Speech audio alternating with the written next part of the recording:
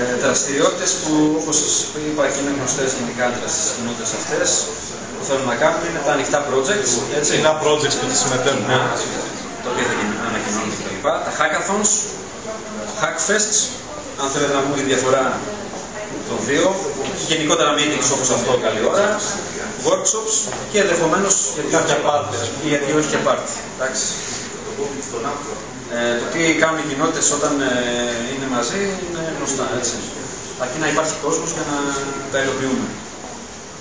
Ε,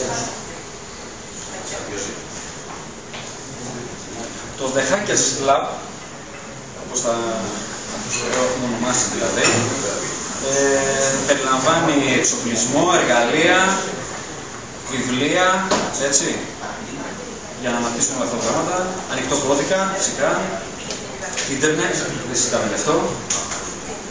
Ε, είμαστε ανοιχτοί φυσικά σε donations, έτσι, όποιος θέλει να πάρει βιβλία και το